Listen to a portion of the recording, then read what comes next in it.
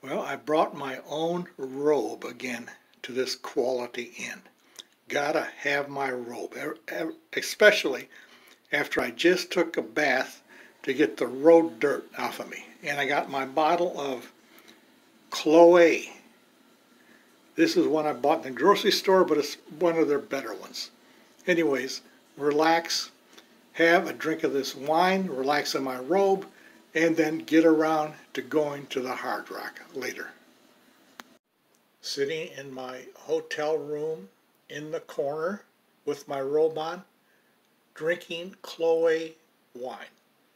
This is three times the cost of the normal cheap stuff I drink. Is it three times better?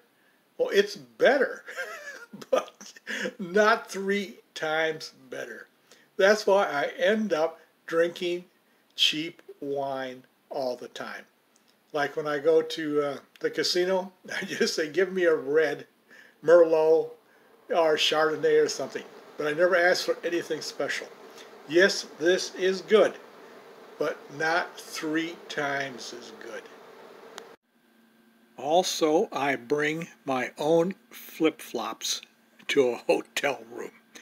I just do not like walking on their floors barefoot. If I forget my flip flops, then I'll use socks. But I do not like walking on hotel room floors. I don't know what's been on them. I, walk, I don't like walking on them in bare feet.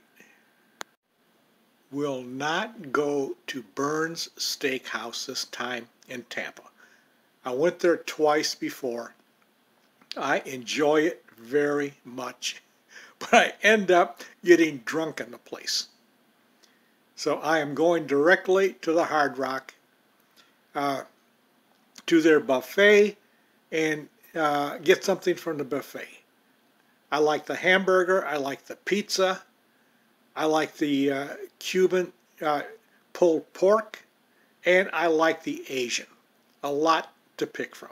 But that's where I'm going. This time I know when I finish dinner there, I am not going to be drunk like I have been at Bern's, which I do enjoy.